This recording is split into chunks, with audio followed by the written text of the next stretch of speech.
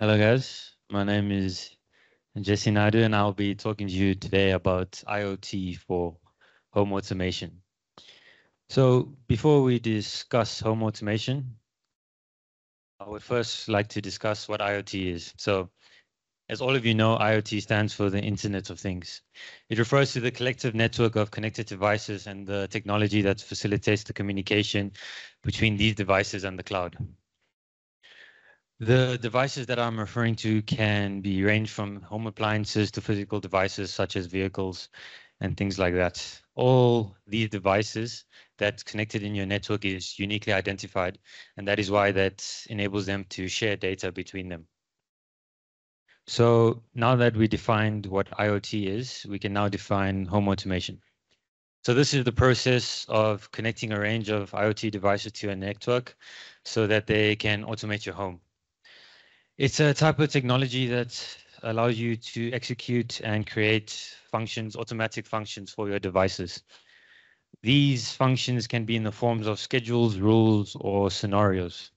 For example, you can have, uh, for example of, an, of a schedule, you can enable your lights to switch on at a certain time when it gets dark. For rules, you can make your IoT device respond to different actions. And for scenarios, you can uh, turn on a light when you enter a room. So those are just basic examples of how uh, you can enable home automation. So home automation using IoT. Now, most IoT devices connect to the internet. This allows it to communicate with other IoT devices and would communicates with the cloud.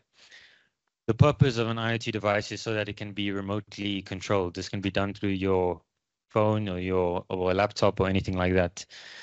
Uh, most IoT devices are smart TV, smart bulbs, smart locks that can be controlled. Now, there are four components of an IoT automated house. And uh, so we're just going to go through these components one by one. So the first component is a IoT device. This can be a sensor or actuator software. Uh, yeah, so a sensor can be cameras, motion detectors, and light sensors. Uh, actuators can be switches, locks, or any, any device that does a physical action. The second component is gateway software. This is, is what is used to connect your device to your home's local network. This can be done through your Wi-Fi or your Ethernet. Your gateway can do basic functions, for example, onboard new devices, or they can do more powerful things like use AI to interpret certain actions so that they can perform certain actions uh, on that data. The third component is a smartphone. So you can install any app on your laptop or your phone. So the purpose of the smartphone is to control, remotely control all the items in your house or your IoT devices.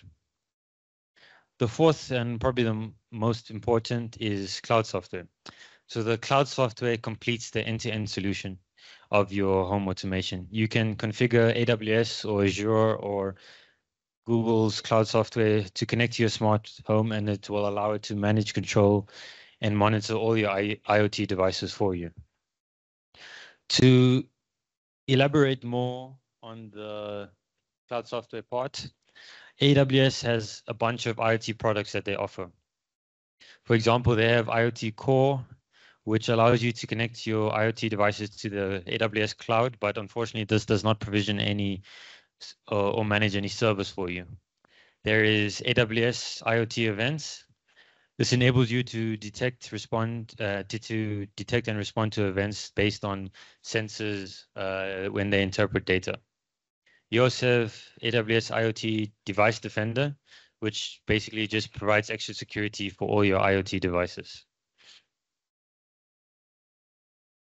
So there's a slight problem with the home automation industry, and that the problem is that when you buy an IT, IoT device, it is limited to the ecosystem that it can run on. For example, if you have Alexa running in your home, you will only be able to buy IoT devices that can interact with Alexa. Now, there is a solution for this. This solution is called Matter. Now, Matter is a freely available connectivity standard for smart homes and IoT devices. In simple terms, Matter enables different devices and different ecosystems, for example, Alexa, Apple Siri, or Google Assistant. It allows them to play nicely with each other. So instead of devices being controlled by different services depending on the brand you buy, it can now be controlled locally depending on the ecosystem you want to run it on. So whatever ecosystem you pick, uh, Alexa, for example, you can run any device if it's Matter compatible. Device manufacturers need to follow a Matter standard. So you can you just, when you buy an IT IoT device, you just have to look for the Matter symbol for that specific device. So Matter is a fairly new technology. It's not been around since 2020, and it still has a lot of improvements to go to. But for earlier versions of Matter, you could not use all devices. Only certain devices could be used. For example, light bulbs and switches can actually be added to your ecosystem. With the newer versions of Matter, you can add a range of new devices, such as electric vehicle chargers, uh, microwave ovens, normal ovens, stuff like that. So home automation is a growing industry. It is relatively new. The current market value is at 72 billion dollars uh, currently, but by 2032, it's predicted to get to around 200 billion dollars. And yes, uh, that is me. Thank you very much.